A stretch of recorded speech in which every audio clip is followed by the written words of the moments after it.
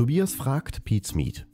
Habt ihr jemals gegen einen Charakter einer Serie oder einem Film eine richtige Abneigung empfunden? Wenn ja, warum? Boah, gegen Seriencharaktere habe ich tatsächlich äh, logischerweise gegen mehrere schon Abneigungen gehabt.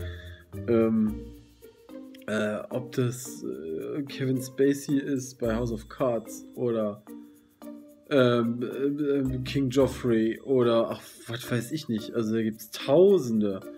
Die Olle äh, von, von, wie hieß denn nochmal die Frau? Boah, die Serie schon eh nicht mehr gesehen von Breaking Bad. Wie vielleicht zum Kotzen, die Ehefrau. Äh, ist ja auch egal, aber ähm, warum ist ganz einfach, weil die ihre Rolle einfach gut gespielt haben.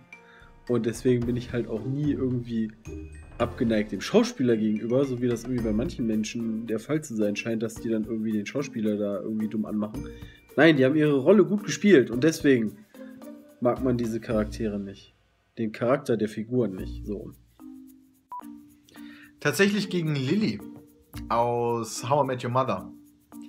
Weil sie einfach meiner Meinung nach ganz schön gemein war zu Marshall. Und ich mag Marshall total gerne. Und er hat das überhaupt nicht, er hat das überhaupt nicht verdient gehabt. Äh, es geht hier nur um Serien oder Filmwagen, nicht um Spiele. Na gut, äh, es geht nicht um Spiele. Da hätte ich dann auch noch so ein paar Kandidaten. Aber Biff von Zurück in die Zukunft. Zum Beispiel habe ich auch eine große Abneigung gegen. Aber ist, das ist ja auch so gewollt, dass man gegen den eine große Abneigung hat. Deswegen, ich bin da sehr leicht manipulierbar. So richtig in der Serie hatte ich eigentlich noch keinen Charakter, dass ich sage, boah, immer wenn ich den sehe, dann kriege ich Pusteln und Lippenherpes und was weiß ich was alles. Ähm, nee. Hat, fällt mir auch keiner ein. Vielleicht irgendwann mal, aber mir fällt keiner ein.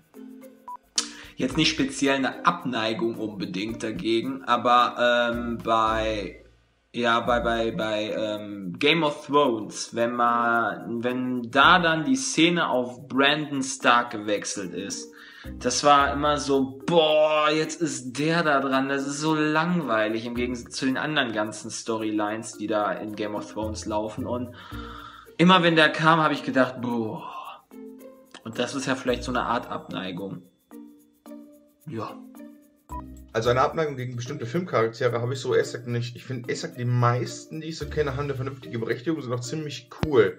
Ähm, wo ich es teilweise schon ein bisschen extrem fand, aber nicht in der Abneigung, sondern einfach nur schon so fast zu krass, war, ähm, verdammt, ich hoffe, er hieß Ramsay aus Game of Thrones.